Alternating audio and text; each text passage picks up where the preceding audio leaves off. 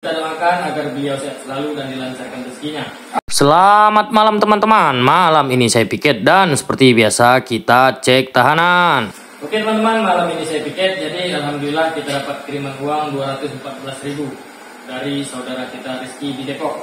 Kita doakan agar beliau sehat selalu dan dilancarkan rezekinya. Amin. Jadi teman-teman mau makan apa malam ini? Saya Pak.